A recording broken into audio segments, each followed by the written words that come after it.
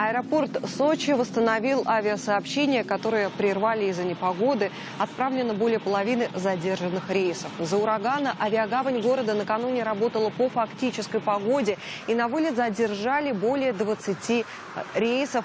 Ураган повредил линии электропередачи, газоснабжения некоторых поселков региона. Без кровли остались 7 многоэтажных домов. По данным администрации и пострадавших также нет.